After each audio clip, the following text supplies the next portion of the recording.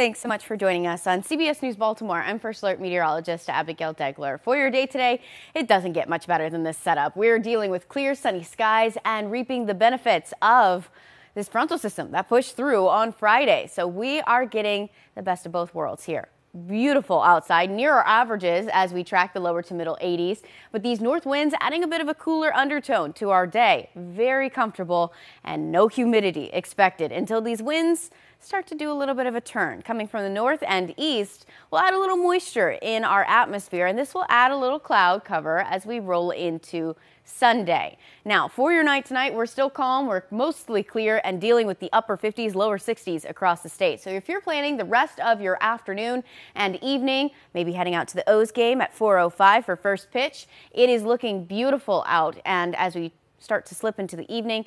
Pretty mild. The 70s eventually, once again, bottom out in the 50s and 60s overnight. Sunday, your Father's Day, the reason why we're calling it a holiday weekend to celebrate that father figure in your life. It is looking absolutely stunning yet again, but we will wake up to a little bit more cloud cover as we go throughout your day. We're not seeing any chances for rain, which is good, but this added moisture will add a little humidity to our 80s, but overall feel very pleasant for your Sunday afternoon. Now, looking at temperatures as we roll into Monday, I do want to highlight these vibrant colors here. Never a good sign. We're dealing with these oranges and reds, just signifying some high pressure and some heat moving into the eastern coast, and we are included in that. And so temperatures are going to skyrocket as we head into Monday.